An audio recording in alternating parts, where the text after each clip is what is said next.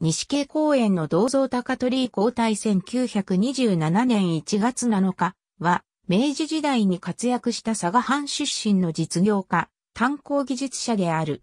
監視もたしなみ西系と合した。小六くらい。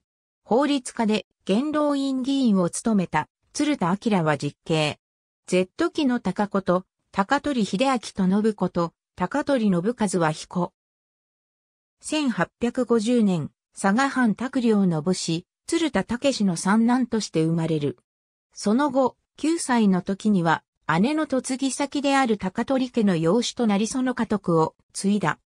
また、卓家の世継である、卓健一郎の語学友に選ばれており、卓藩の教皇東原商社や佐賀藩校、行動館などで共に漢学と国学を学んでいる。1871年、上京し、三つくり敬吾が開いていた英学塾、三叉塾から慶応義塾へ進み英学、鉱山学を学ぶ。三叉塾では、東郷平八郎や伊地知光一などと机を並べた。慶応義塾卒業後、官費学校の鉱山寮に入学。最短技術を学んだ後、工部省に採用され、高島炭鉱に赴任。長崎、佐賀県の炭鉱開発を行い、高島炭鉱取締役、明治唐津工業組合長となる。1885年、独立し、タ市の湯の起源炭鉱などの開発を手掛けるが、三菱など大資本に押された上、大恐慌も重なり苦戦する。1909年、木島炭鉱を買収し、大規模開発に成功。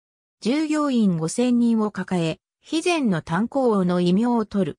1919年、事業を長男苦労に譲り引退。1927年の死去まで唐津の自宅と竹を、雲仙の別荘で監視の施策に励んだ。